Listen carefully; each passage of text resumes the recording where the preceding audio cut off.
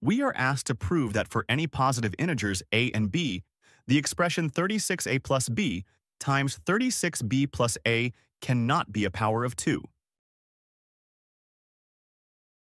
We will approach this using a proof by contradiction. Let's assume the statement is false and see where it leads. We will assume that the expression is equal to 2 to the power of k for some non-negative integer k. Since both factors are positive integers and their product equals 2 to the k, by the fundamental theorem of arithmetic, every prime factor of each factor must be 2. Therefore, each factor must itself be a power of 2. This implies that 36a plus b must equal 2 to the m, and 36b plus a must equal 2 to the n. For some integers, m and n, where m plus n equals k. With a symmetric system of equations, a standard technique is to add and subtract them to reveal underlying structures. First, let's add the two equations. Combining like terms on the left side gives 37a plus 37b. Factoring out 37 reveals our first key relationship. Next, we subtract the second equation from the first. This yields 35a minus 35b. And factoring out 35 gives our second key relationship. Let's investigate the consequences of the first relationship involving the prime number 37. The left side of this equation is clearly divisible by 37. This implies the right side, 2 to the m plus 2 to the n, must also be divisible by 37. We can factor this expression.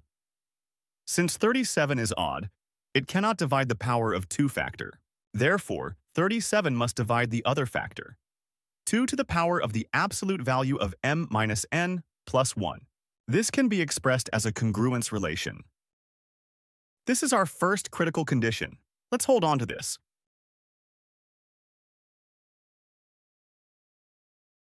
Now, let's examine the second relationship, which involves the factor 35. Consider the case where a equals b. If a equals b, the left side becomes 0, which forces m to equal n. Substituting a equals b and m equals n into our first equation gives 37 times 2, a equals 2 to the m plus 1. Dividing both sides by 2 gives 37a equals 2 to the m. This is impossible because 37 is an odd prime that cannot divide any power of 2. Therefore, a cannot be equal to b and consequently m cannot be equal to n. Since a is not equal to b, the left side is a non-zero multiple of 35. Using similar factoring logic, since 35 is odd, it cannot divide powers of 2. We factor the difference similarly, and 35 must divide the second factor. Therefore, 2 to the power of the absolute value of m minus n minus 1 must be divisible by 35. This is our second critical condition.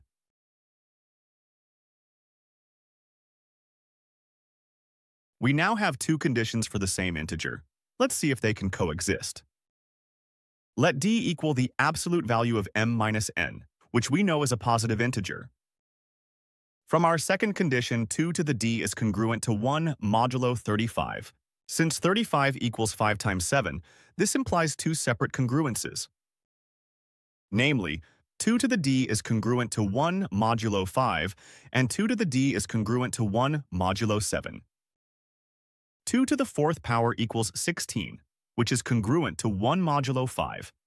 Therefore, the order of 2 modulo 5 is 4, so 4 divides d.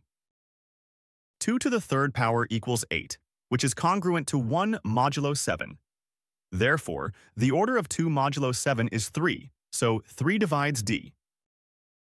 For d to be a multiple of both 3 and 4, it must be a multiple of their least common multiple, which is 12. This is a powerful constraint.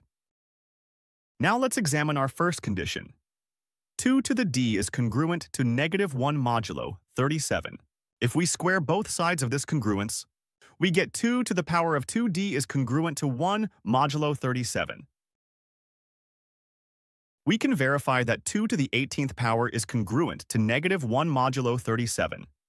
Since squaring gives 2 to the 36th equals 1, and 2 to the 18th is not 1, the order is 36. Here's the calculation.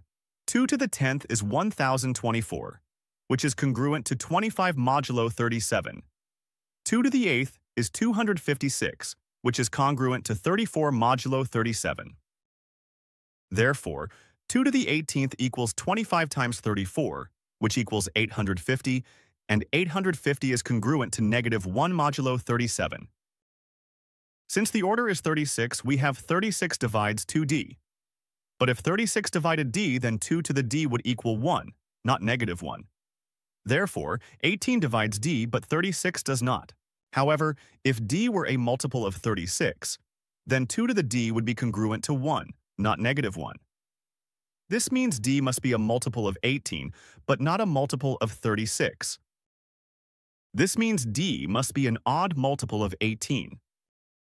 Let's combine our constraints. Since 12 divides d and 18 divides d, their least common multiple must also divide d. The least common multiple of 12 and 18 is 36.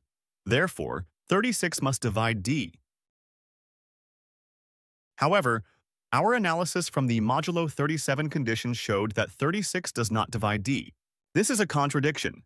We cannot have 36 divides d, and 36 does not divide d simultaneously.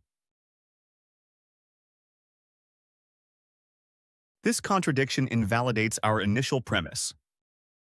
The assumption that the expression could be a power of 2 has led to a contradiction. Therefore, the original statement must be true. For any positive integers a and b, this expression can never be a power of 2.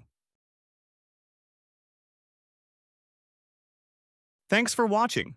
Please like and subscribe for more math content.